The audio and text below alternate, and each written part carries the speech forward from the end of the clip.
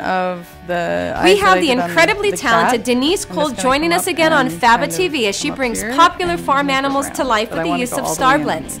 these. Designs include a cute little piggy, a silly little rabbit, a precious little goat, and a ferocious cat.